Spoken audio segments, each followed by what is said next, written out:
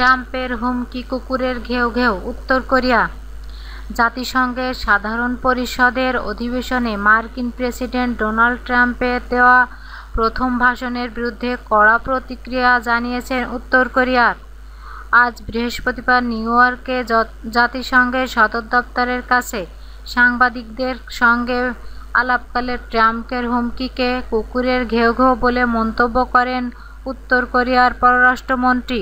উত্তর কোরিয়াকে ধ্বংস করতে ট্রাম্পের হুমকিতে তার দেশ থেমে থাকবে না বলেও জানিয়েছেন তিনি।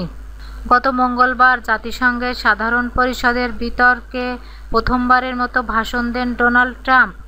ভাষণে ট্রাম্প সতর্ক করে দিয়ে বলেন, যুক্তরাষ্ট্র এবং তার মিত্ররা যদি হামলার সম্মুখীন হয়, তাহলে উত্তর কোরিয়াকে পুরোপুরি ধ্বংস করে দেবে ওয়াশিংটন। গত কয়েক মাস ধরে পিয়ংইয়ংয়ের পারমাণবিক অস্ত্র পরীক্ষার জেরে কোরীয় দ্বীপে ক্রমবর্ধমান উত্তেজনার মাঝে ডোনাল্ড ট্রাম্প ওই হুমকি দেন। সম্প্রতি জাপানের ওপর দিয়ে উত্তর কোরিয়া ক্ষেপণাস্ত্রের পরীক্ষা চালায়।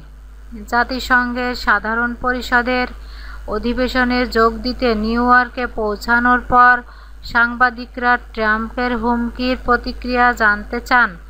উত্তর কোরিয়ার পররাষ্ট্রমন্ত্রী রি ইয়ং হোর কাছে। রি ইয়ং হোর বলেন, কথায় আছে যে, কুকুর ঘেউ ঘেউ করলেও কুচকাওয়াজ বন্ধ থাকে না।